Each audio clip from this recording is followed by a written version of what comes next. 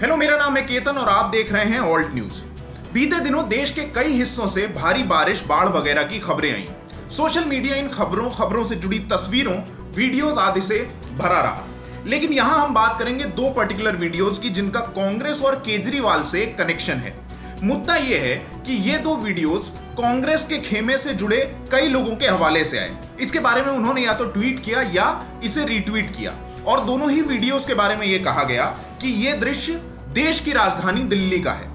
दिल्ली में चूँकि आम आदमी पार्टी का यूँ कहें कि अरविंद केजरीवाल की सरकार है, इसलिए कांग्रेस से जुड़े इन सभी लोगों ने केजरीवाल और इन वीडियो से ज़ाहिर हो रही दिल्ली की लचर व्यवस्था पर निशाना साधा। पहले वीडियो में एक बस दिखाई दे रही है जो कि पानी से भरी सड़क पर चल रही है और वो जैसे जैसे आगे बढ़ती जा रही है, उसमें पानी भरता जा रहा है।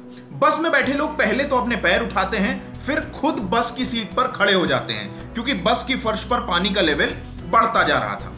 इस वीडियो को दिल्ली यूथ कांग्रेस ने ट्वीट किया और सीधे शब्दों में इसे दिल्ली का बताते हुए केजरीवाल पर आरोप लगाए। इसके अलावा, मुंबई महिला कांग्रेस की वाइस प्रेसिडेंट गुरप्रीत कौर चड्ढा और दिल्ली के वाइस प्रेसिडेंट अभिषेक दत्त ने इस वीडियो को ट्वीट किया।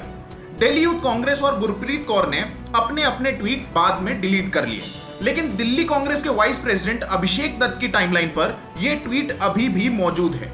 मज़ेदार बात यह है कि जब अभिषेक दत्त को बताया गया कि यह वीडियो दिल्ली का नहीं बल्कि जयपुर का है तो वो साफ़ मुकर गए और कहने लगे कि मैंने तो कहा ही नहीं कि यह दिल्ली का है।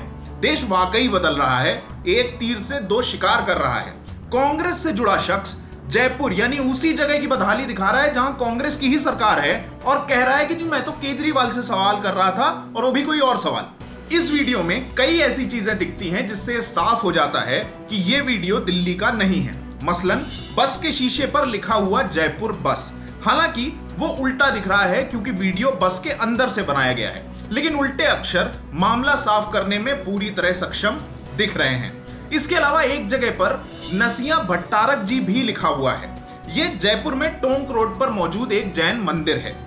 इसलिए यह पूरे दावे के साथ कहा जा सकता है कि यह वीडियो दिल्ली का नहीं, बल्कि जयपुर का है। हाँ अगर जयपुर से कोई बस कांग्रेसी विधायकों को दिल्ली के किसी होटल में सुरक्षित रखने लाई थी और ये उसी दौरान का वीडियो है तो कांग्रेस को इसे साफ़ कर देना चाहिए। बहरहाल, हम बढ़ेंगे उस दूसरे वीडियो की तरफ़, जिसे शेयर करते हुए अलका लांबा जी ने यह कहा कि भाई, ये तो हद ही हो गई। इस वीडियो में एक घर में पानी भरा हुआ दिख रहा है और दो लोग, जिसमें एक पुरुष और एक महिला है दोनों पानी में तैरते हुए दिख रहे हैं। ऐसा लग रहा है मानो कोई स्विमिंग की क्लास चल रही हो। अलका लांबा ने एक बार फिर अभिषेक दत्त का ही वीडियो रिट्वीट किया। अभिषेक ने इस वीडियो को भी दिल्ली का बताया और अपने ट्वीट में एक बार फिर अरविंद केजरीवाल का ज़िक्र किया। अलका लांबा ने हैशटैग दिल्ली का इस्तेमाल करके मामला साफ़ कर दिया कि उन्हें भी ये वीडियो दिल्ली का लगता है। असल में ये वीडियो बीते वर्ष यानी 2019 के सितंबर महीने का है और ये इलाहाबाद, जिसे अब प्रयागराज भी कहा जाने लगा है, वहाँ का है।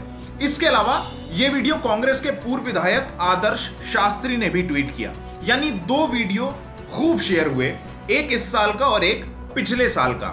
दोनों को शेयर करते हुए दिल्ली सरकार और अरविंद केजरीवाल पर निशाना साधने में कांग्रेस के लोग आगे थे।